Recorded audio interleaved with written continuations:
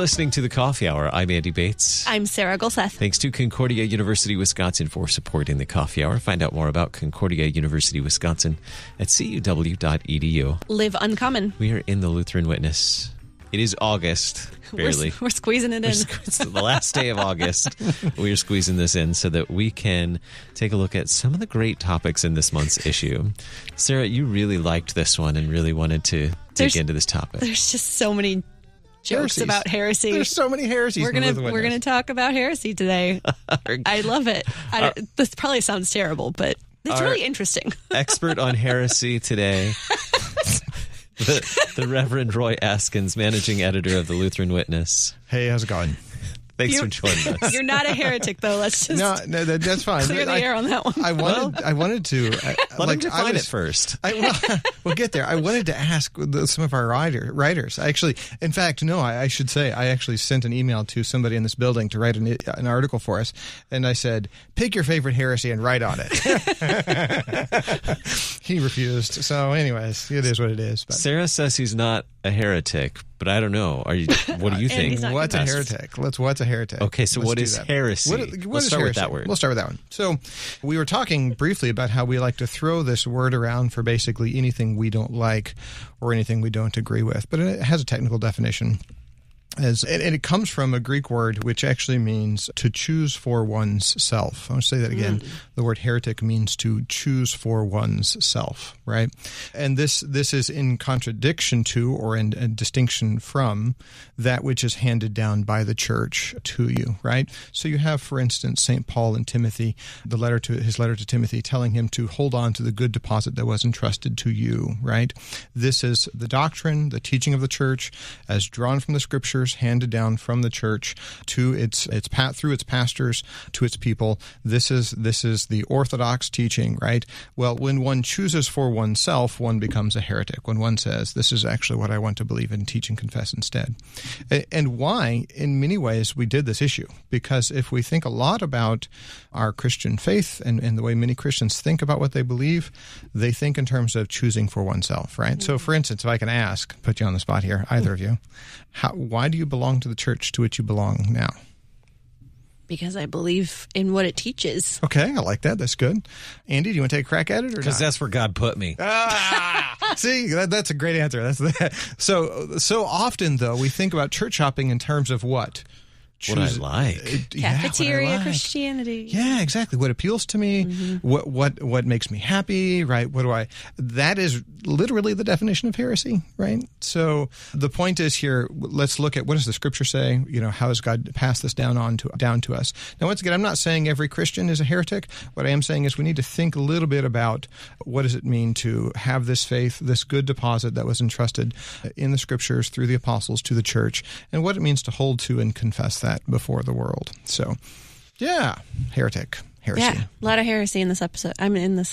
this, this issue. Just Yes. this episode. So let, let, let me ask you. Let me ask you if, before we hop in. Andy. What was what was your favorite heresy we discussed? My personal favorite heresy. I Gotta be careful what I say. No, moralistic therapeutic deism. I think is the mm. most fascinating one because it shows up in far more places than we realize. And after I read this article, and it's Joel Biermann wrote this one. Yes, he yes, did. which I mean he's brilliant anyway. But after I read the article and listened to him talk about it, and then I w- started watching some movies, Yes. I couldn't watch them anymore because the entire message is moralistic therapeutic deism, and I was just yelling at the screen because I was like, "This is this is heretical. I can't I can't enjoy it." well, and, and in so many ways, even once again, for many Christians, this is the baseline view that people don't realize. This is their fundamental worldview. Yes. That this is how they look at the world. And and we got I got a lot of great comments from people who read this article on moralistic therapeutic deism. He was really well received on, on the issues interview as well. Mm-hmm. And he does such a great job of just just kind of distilling this down. It's nothing new. I think the study that he kind of really identified moralistic therapeutic deism came from the early 2000s, the early aughts, but it really kind of picked up steam around 2010 and people started talking about it. But All right, Yeah. so what is it? So what is it? Yeah. Well, you have three big terms there: moralistic, therapeutic, deism. So moralistic, focused. It has a, an emphasis on legalism, on morals, living a good life. Right. Therapeutic, focused predominantly on the idea that religion is something that's supposed to make me feel good and happy and well adjusted. Right. It has a therapeutic sense to it. And then the term deism is, is is actually from was originally coined in the Enlightenment era to to reflect how they talk about God. Modern deism is slightly different in this sense, but it is the idea that God is a like a, a watchmaker. He he created the world, he wound it up, and then he walked away, and he doesn't really interact with it so much anymore. Deism today, or the deism described here in this article, doesn't say that. It does say he occasionally intervenes, but he's only there when I need him. I, I refer to it as like treating God like a cosmic candy machine, right? I can put in my prayers, and as long as I put in enough prayers, then he'll give me my candy bar that I was looking for, right? But in the meantime, he's just kind of there ready for me when I need him, but he doesn't really interact and bother with my daily life, right? And practically, we kind of joke about this now, but practically the way we live, we live this way so many times, right? Like mm-hmm. we think about what, what is my faith. Well, it's something I do on Sunday morning, right? It's not necessarily directing my life and, and actions in my daily life in the world. So let me give a little bit more here. He gives a little bit more detail here on these by drawing out five points in terms of the way people think about the world that illustrate moralistic therapeutic deism. He says, There is a God who created the world and oversees human life on earth. That's kind of the deistic side of mm-hmm. things. People, it's really fascinating. One of the studies we've done, written on a couple of times over the last two years or so has been on the rise of the nones, right? Those who mm-hmm. say they don't believe in any religious system. They're still very religious. They're spiritual, not religious, spiritual. They do believe there's some sort of eternal being, some sort of spiritual essence out there. They just don't like the Christian system, the Christian religious system. I'm using air quotes if you can't see that here, right? Otherwise, I'm, I'm going to be end up in my own pages of my own magazine here, right?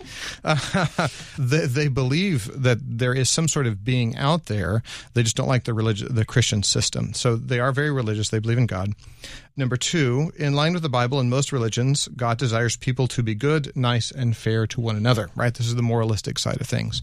They do believe that there is some sort of responsibility ethic that you have to be kind to one another, right? That Lewis nails this, C.S. Lewis nails this really well in uh, Mere Christianity, kind of the opening to Mere Christianity, where he talks about, you know, all these people that say there's no such thing as a moral ethic. You smack them on the nose, and suddenly there's a moral ethic because you hit them and you did something that violated their space, right? You steal from them, suddenly there's some sort of moral code out there to which you belong because you can't steal from me. Well, why not, right? So they, they believe that God genuinely just wants people to be nice, kind to one another. Three, the overall goal of life is to be happy and feel good about oneself. That's the therapeutic side of things. This is very prevalent. You see this in a lot in these these health crazes that come around. You- These these uh, things like Soul Cycle have very religious overtones in the way they they they they do their programs. Right? I mean, it's terrifying when it's you get into it. Oh, it's it's awful. And then four, God is involved in one's life only to the degree to which problems need to be fixed, right? Once again, God is the cosmic candy machine. And then five, when they die, good people go to heaven, which is just actually rank heresy. We could jump into, you know, Pelagianism now if you wanted to. That would be the, the direction that one would go. But Well, it depends on how we define good, sure. Yeah.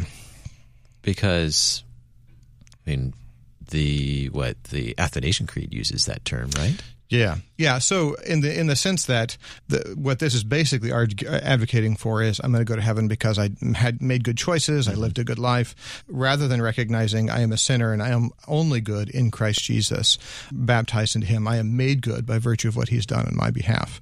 But that's not the the sense in which this is being used in in MTD. Yeah, Sure. yeah, Well, that was a fun heresy. yeah. And you're right. We we see it all over in culture. I mean, Oh, Sarah pointed out it, it's in movies, All but over the place. I mean, it's it's even infiltrated curriculum Oh yeah. Mm-hmm. in schools, and yeah, it's everywhere. So- okay, well, so that was fun. I'm, I'm interested. If I can, can I ask another question? I want to ask you a question here. Oh, boy. Oh boy, here we go. What, what's what's an example you saw in a movie that just really kind of you were like, oh my gosh, I can't believe this. Okay, so I don't know if I want to like blatantly name the movie. Am I allowed to do that? okay, so we watched the Trolls movie Okay. and the plane, and the whole premise of the movie was that they were finding happiness, and if they were not made happy, then life wasn't worth living. and eating trolls makes you happy. And eating trolls makes you happy. It was Oh my goodness. my brain was exploding because it was just so in your face of like the highest goal of life is happiness. Yeah. I mean, well, so even think, I know you're going to wrap up this heresy, but there's so much more you can do with this here. Just think about how we talk to our children about their careers and future life, Yeah. right? Mm-hmm. How much of this is directed around find a career that you can you can be successful in, that you can make a lot of money, and then you can retire at 65, right? Or 55 or whatever it is. As though the entire purpose of this is that you feel self-fulfilled. The the raw truth is God isn't necessarily about you feeling self-fulfilled about yourself, right? It's actually that you would know him and that you would deny yourself and instead live in him, him and in the life he gives. This is probably the philosophy or the the way of thinking, the worldview where the idea of follow your heart comes from. Oh, oh yeah. and mysticism too, or well, Gnosticism, or as I like to call it, Gnosticism. Gnosticism. We're going to get to that one. Should we? Should we do that in just a minute? I know Sure. we've got We a bunch more to get to. We'll do that in just a moment. We're talking about heresies, ancient and modern, from the August issue of the Lutheran Witness with the Reverend Roy Askins. We'll be right back in just a moment. You're listening to the Coffee Hour. I'm Andy Bates. I'm Sarah Gulseth.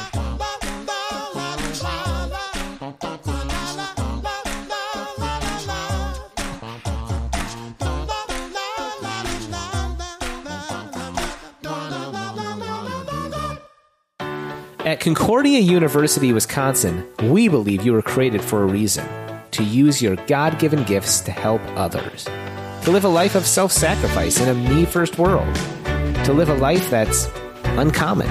Whether you're taking one of 50 plus online programs or learning with us in person on the shores of Lake Michigan, you'll be equipped to make an uncommon impact. Learn more at cuw.edu. Concordia University, Wisconsin. Live uncommon. Welcome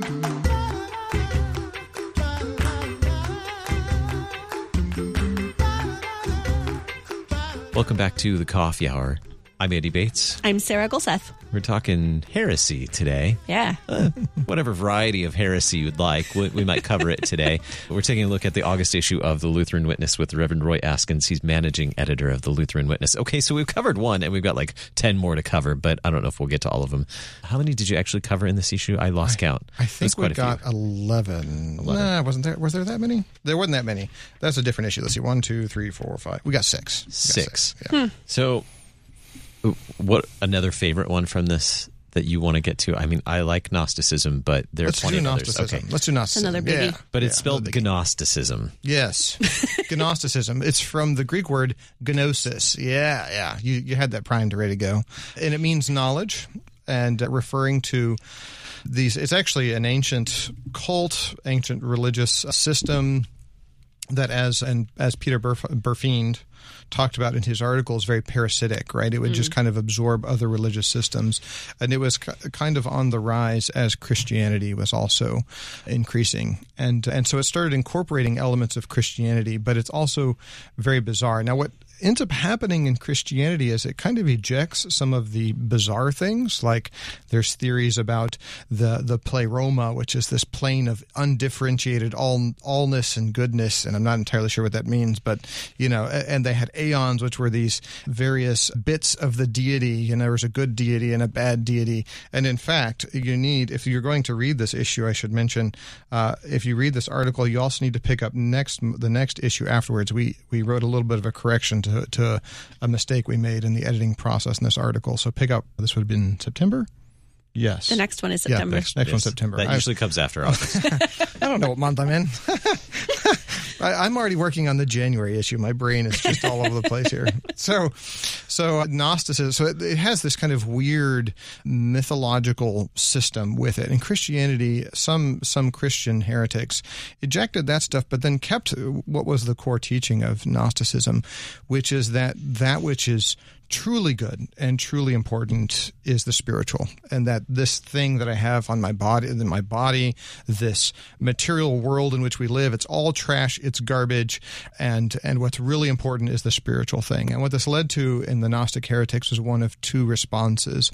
Either a severe asceticism which says, in order to purify myself spiritually, I must deny any sort of desire that I have, completely deny any sort of physical responses that I have, you know, not eat, fast for days and days and live in, in cells and, and completely and totally subjugate my body in order to purify my spiritual essence. So that was one response.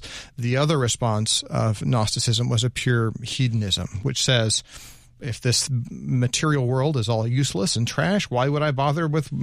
I can't hurt it, right? The point is my spiritual essence, and so they would go live wild and profligate lives because it was the spiritual that was important, not the physical body.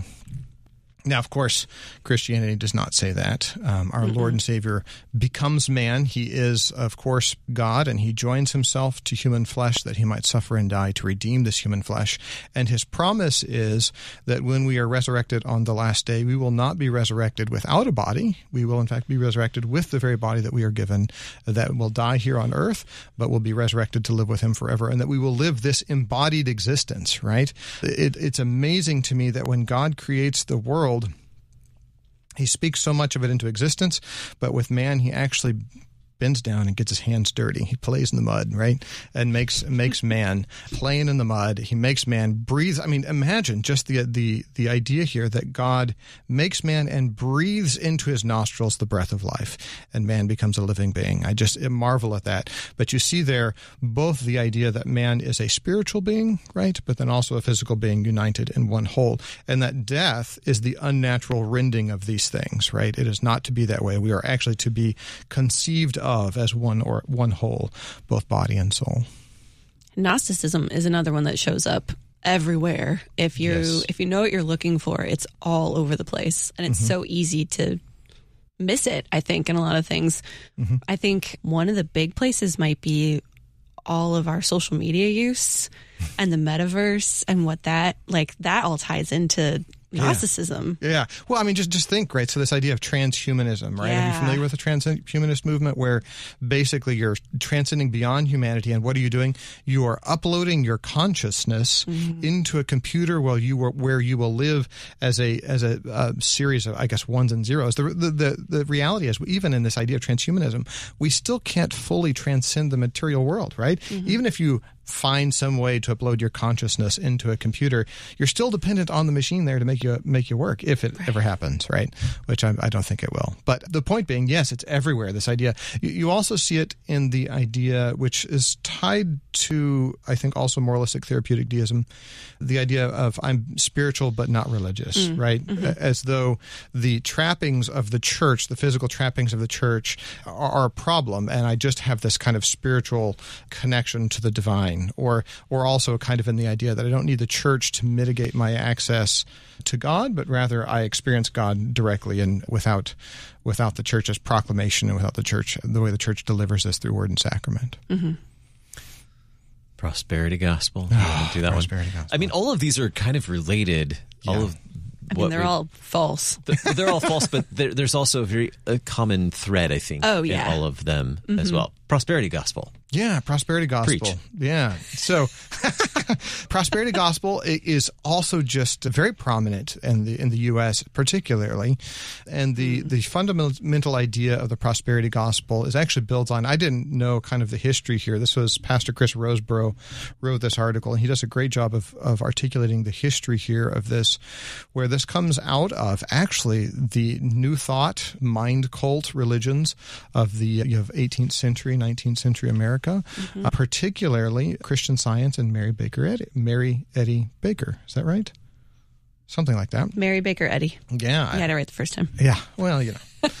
I got all the words in there, just not in the right order. It's so, so, interesting that that's where it comes from, though. Yeah, yeah, and it's based on this idea, this this kind of a word of faith teaching, where if you believe it, you can bring this into existence. Which, once again, I think this is what you're saying with Gnosticism. The the Secret, which is a book Oprah promoted back in the early 2000s, yeah. is part of this as well, but it's very much uh, part of Gnosticism, right? The Secret is the idea that there's a special knowledge. You just speak this into, you, you speak positive thoughts into the universe, and they're going to happen happen, right? This is the Christian version of this. That if you're just positive and you think happy thoughts and you and you send the money in to the preacher that he wants, suddenly God's going to bless you and give you all sorts of prosperity that you yourself for you yourself, right? And you see this in the preaching of. I mean, the most egregious example, of course, is is Joel Osteen, but you see this in other places as well, where God wants you to be happy, He wants you to be wealthy, and all you have to do is this, that, and the other thing. And the focus here is not on our eternal life and relationship with God,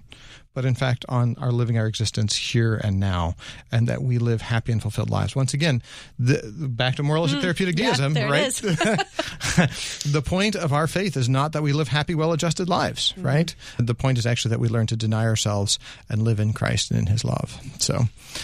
There's, is there anything specific about prosperity gospel you wanted to ask rather than just listen, listening to me rant about it? So. well, there, there's a very dark side to this one that mm. when it doesn't work, mm-hmm. what yeah. that can do to people. Yeah, uh, Pastor Rosebrough pointed this out the, the loss of faith that people experience so often with this this false religion, this heresy. He had some, I don't remember exactly what the examples were, but there are some pretty terrifying examples of people who lose faith, you know, uh, suicide. I mean, just the terrible things that happen when you're being told time and time again if you just believe, if you just have enough faith, if you just think mm-hmm. happy thoughts and you're thinking happy thoughts all the time, and life is just suffering, right? And nothing works out the way you'd hoped it worked out, it's a, very easy to lose to lose faith and to and to watch as you watch things fall apart. That becomes very painful, especially as we think about our Lord's admonition when he he doesn't say if you follow me. He said uh, he doesn't say if you follow me, all's going to go well. You're going to get a fancy car and a big house. In fact, he says something else quite different. He says if a man would follow me, let him take up his cross.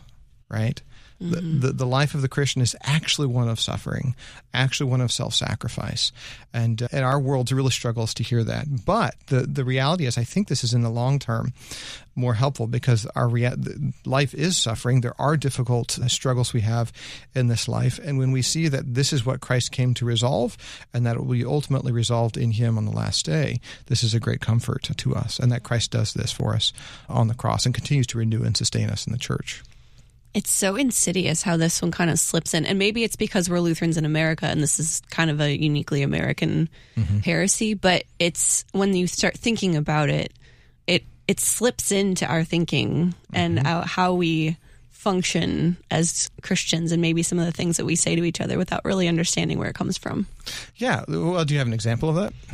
Well, the like sometimes we think we don't pray hard enough or yes. like and and that's I mean obviously I know that's not true, but every once in a while that little thought is like, oh maybe maybe I should pray about this again, and that will get make God. Or it wasn't a sincere enough prayer. Yeah, yeah, right. Yeah. Like I prayed, I prayed, but I didn't really pay attention to it. And had I been paying attention to it, maybe He would have answered it a little bit better, mm-hmm. right? Or or the idea that you know if as a, we're a, we're a small church in a shrinking town in Kansas, middle of nowhere, Kansas, which I love the middle of nowhere. It's a great town in Kansas, and, and our church is shrinking and maybe it's because we don't have enough faith. Maybe we're mm-hmm. not trying hard enough. Maybe we're not, you know, and and maybe, but maybe it's just as the context where God puts you, and this is the the the struggle under which you have to bear right now in this time, right? And and even if that church has to close, it doesn't mean that God's church has stopped to function there in that place, right? Mm-hmm. That that the the gospel is not going forth. The whole point is that you can't measure God's attitude toward you based on your material things around you. Right?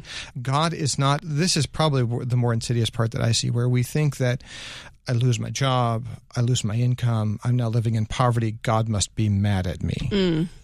Actually, it could be the exact opposite that he's training you up as a child, and he is. We know it's the exact opposite. Obviously, he loves you, right? the, the, the point is, it's not that he's abandoned you in that moment, but that he is, in fact, training you and teaching you up in that moment as you bear up under suffering. So, the, the prosperity gospel teaches the exact opposite of mm-hmm. what our Lord says to us about our life in him. So, we've covered MTD or moralistic therapeutic deism, mm-hmm. Gnosticism and prosperity gospel. There are at least three more in yes. this in this issue of the the August issue of the Lutheran Witness.